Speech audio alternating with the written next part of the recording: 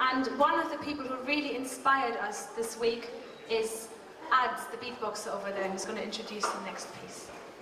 Hi, my name is Adam, aka Ad, uh, 19 years old from Syria, Damascus, Syria, and I work with Music Action International to deliver a new way of teaching and performing music. Uh, pleasure to be here. Hope you enjoy the show. Um, I composed a, a, new song recently called Distance.